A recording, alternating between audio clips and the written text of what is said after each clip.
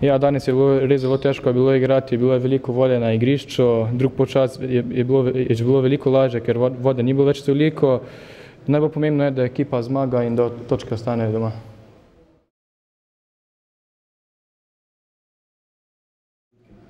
Ja, občutki so zelo res lepi, v dresu Maribora lepo zadevati.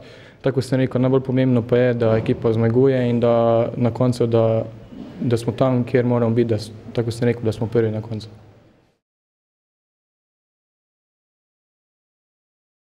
Res, to bo, to mi pričakujemo zelo težko tekmo, zavedamo se, da Olimpiji ne gre dobro, ampak sigurno ima neke kvalitete, zavedamo se mi tega, da imamo mi kvaliteto in sigurno mi gremo tja samozavestni in pa da se na koncu vrnemo s tremi točkami.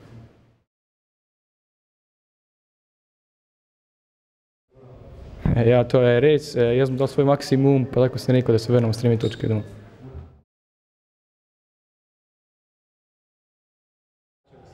Ja, vsi vemo, da to derbi pričakujemo zelo veliko ljudi, sigurno pa bilo zelo lepo, da bi imeli še večjo podporo s tribun.